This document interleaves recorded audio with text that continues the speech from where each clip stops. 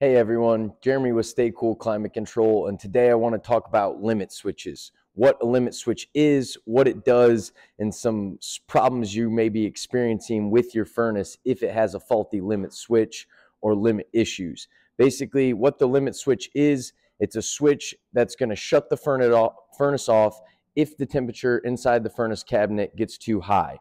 This is called a high limit switch. So on this particular limit switch, it's going to read limit 150 minus 30 degrees Fahrenheit. So basically, when the interior cabinet of the furnace gets above 150 degrees, it's going to open the switch in here, killing power to the gas valve and thus shutting the gas off on the furnace.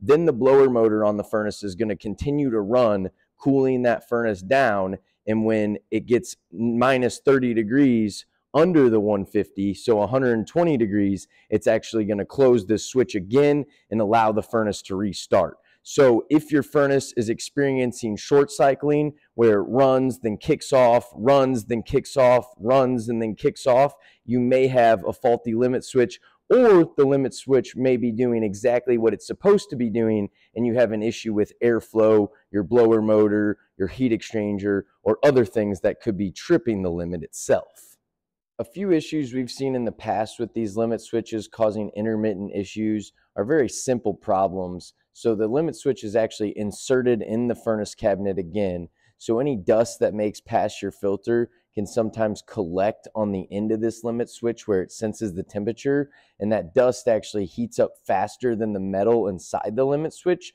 thus tricking the limit making it hotter than it really is. And so all we have to do is take the limit out clean it off and put it back on. Some other times we have trickier problems like this limit switch it's only two years old but as you can see it's separated right there from the factory weld. So in this case the furnace was operating properly when the limit was making contact, but then after it ran for a while, it heated up, the blower motor started causing a disturbance in the limit, and then it would start moving back and forth, thus creating an intermittent issue. Our technician Jacob was able to find that problem, but it took a little bit more time because half the time it was working, half the time it wasn't working. Those are just some simple, easy problems well, not easy problems, but easy fixes to some intermittent issues that we've seen in the field.